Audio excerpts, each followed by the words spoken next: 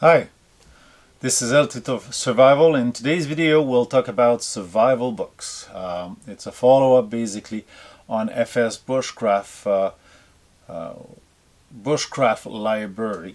Uh, mine's going to be a little more on survival. So stay tuned.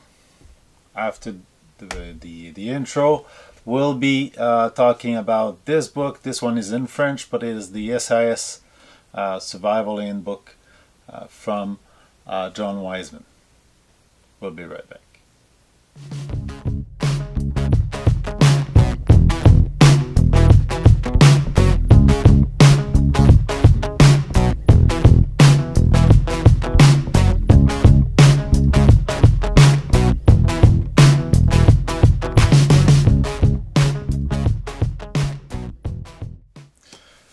Well, everybody knows this book. SAS Survival Handbook. This one is a translation of the original which was published in 1986.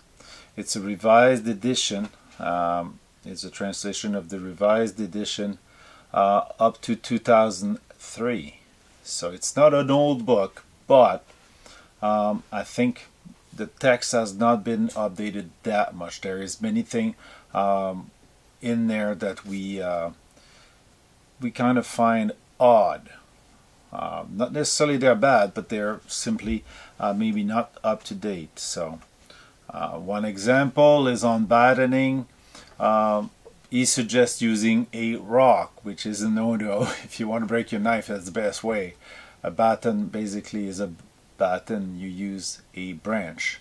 So, uh, if you use a rock, well, you're in for a broken knife for sure. But uh, that's one of the uh, the things. You know, every book you're going to be reading, got to be critical of the information. Uh, first, they might be not centered on your area, and plants, wildlife, and everything might not be corresponding yours. So that's one thing. And the second thing, you've got to adapt what it's in, in there. It's the view often of one uh, particular fellow or a uh, training agency uh, that you um, that you uh, will find in the back. So sometimes uh, these are not updated that much, and they come from a training some people have received a, long time ago, and things change, things evol evolve. But this book is not bad. It's a base book which you're going to use to learn the basic. Uh, basically, what you should have in your kit, what you should um, consider, prepare for terrain, climate, uh, traps, and other things. So you have to uh, to be uh, to learn the things, the basic things, trappings. Uh, in there you'll find some traps, some interesting traps. Not sure you're gonna see that correctly, but it's all drawing, line drawing, and uh, you can uh, you can find many of the good thing how to uh, take care of uh, the the uh, the thing you've caught you've caught and how to prepare the meals, type of uh, shelter. you've got all kinds of it for every weather. This one is is covering most of the area you'll encounter on Earth. So um, how to improvise your equipment, type of uh, stove, how to start fire, kitchen, what you should cook, where you should find things, what you can build, um, rope making, knot making, net making, orientation. Okay, to give you basic on orientation, how to read the um, the line of the train and everything. Uh, some meteorology, how to carry your stuff, uh, first aid, remedies, and dangerous toxin, things like that. So it's not a bad book. It's a it's a book that somebody that is more advanced might not appreciate that much because lots of information is basic.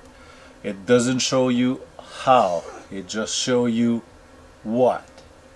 Um, the how is up to you to learn. So. Not a bad book. It's a good read. And it's probably one of those that started them all. So one that I might that you might want to read at least for the base information. It's always good to have many different uh, type.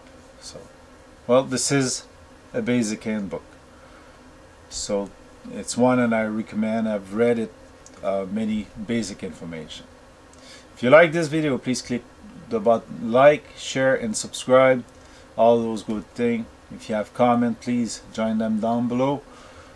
And as FS Bushcraft told me uh, anybody can show us the books they like to read. So the book they have in their library uh, on survival bushcraft and wildlife. So it's all good.